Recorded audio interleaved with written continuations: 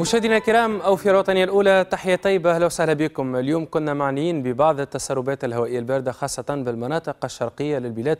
تباعا لذلك لما حالة الطقس اليوم تراجع درجات الحرارة مقارنة بالحرارة العالية اللي سجلناها خلال يوم الأمس. الأرقام اللي تحصلنا عليها اليوم كانت في مجملها من بين 27 ل 32 درجة بالمناطق الساحلية اليوم بلغت الحرارة القصوى 30 بتونس الكبرى وكانت من بين 34 ل 39 داخل البلاد مع ظهور الشيلي محليا. حالة طقس نشوفوها أكثر من خلال تسلسل لسوى القمر الاصطناعي. كما لاحظوا لميز حالة سماء ظهور بعض السحب بالوسط وبالجنوب وبمناطق الشمال. السماء في مجملها كانت صافية. ليلة سحب عامة قليلة على كامل البلاد وتقريبا درجة الحرارة تتراوح ما بين 19 ل 24 درجة بالشمال وبالمرتفعات. وببقية الجهات نتوقع أرقام تكون من بين 24 إلى 29 درجة. يوم الغد إن شاء الله استقرار نسبي فيما يخص درجات الحرارة وحتى من الناحية الحركية رياح تكون ضعيفة إلى معتدلة على كامل البلاد. ممكن تتقوى فعاليتها نسبيا بمناطق الجنوب تكون مثيرة محليا للرمال الطقس يكون مغيم جزئيا بمناطق الجنوب وظهور سحب قليلة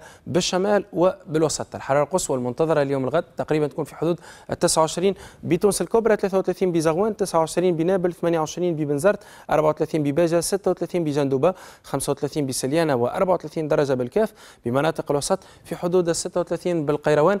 أقل بسوسة وبالمنستير. 31 30 بالمهدية 35 بسيدي بوزيد و34 بالقصرين وبالجنوب في حدود 32 بصفاقس وبقابس 35 بمدنين بتطاوين 35 أيضا 37 برمادة 38 بأقصى الجنوب وبتوزر 39 درجة بقبلي بقفصة الحرارة القصوى في حدود ال 35 بالنسبة للملاحة والصيد البحري بسواحلنا الشمالية منطقتي سيرات وخليج تونس ريح تكون من القطاع الشرقي شرقية إلى شمالية شرقية سرعتها من 10 إلى 20 عقدة تصل مؤقتا إلى 25 25 والبحر يكون قليل الاضطراب مضطرب بخليج حمامات وبجهة الساحل وصولا لمنطقة الشابة رياح تكون من القطاع الشمالي شمالية غربية إلى شمالية شرقية سرعتها من 10 إلى 20 عقدة والبحر يكون هادئ وقليل الاضطراب وبخليج قابس رياح شمالية شرقية سرعتها من 15 إلى 20 عقدة والبحر يكون قليل الاضطراب فمضطرب.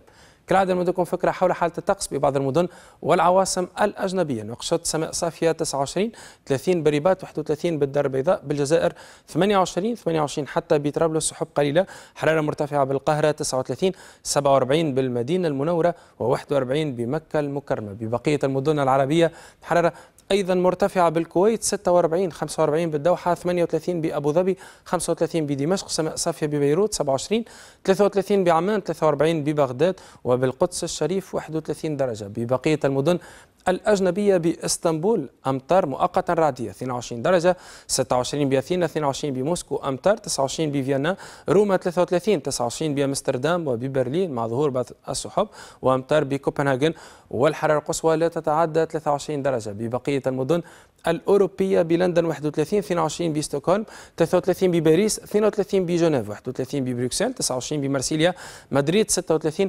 و34 درجة بلشبونة. تطور الوضع الجوي خلال الفترات القادمة. يوم الثلاثاء ظهور سحب قليلة على كامل البلاد. الرياح تتوصل من القطاع الشرقي ضعيفة إلى معتدلة. البحر يكون هادئ وقليل الاضطراب ملائم لمختلف الأنشطة البحرية وتقريبا حرارة قصوى تتراوح من بين 28 ل 32 درجة بالمناطق الساحلية وداخل البلاد نتوقع أرقام تكون من بين 32 إلى 36 درجة. يوم الأربعاء رياح كما لاحظوا تتنقل تدريجيا لتكون من القطاع الجنوبي بالشمال وبالوسط شرقية بمناطق الجنوب ضعيفة إلى معتدلة تتقوى حدتها وفعاليتها بعد الظهر بالسواحل الشرقية. البحر يكون قليل الاضطراب إلى مضطرب آخر النهار بالسواحل الشرقية وممكن ارتفاع طفيف في درجات الحرارة فيما يخص حالة سماء ظهور بعض السحب واللي تتكاثف تدريجيا بعد الظهر بالمناطق الغربية للبلاد. كالعادة قبل ما ندعوكم نذكركم بمواعيد الشروق والغروب اليوم الغد. شروق الشمس بإذن الله يكون في الساعة الرابعة و59 دقيقة غروبها في الساعة السابعة و41 دقيقة. لمزيد من المعلومات والإرشادات الموقع الخاص بالمعهد الوطني للرصد الجوي www.meteo.tn تبعثوا رساليات قصيرة ولا تتصلوا برقم الموزع الصوتي 88 40 4 صفار شكرا على حسن المتابعه والاهتمام. إلى اللقاء.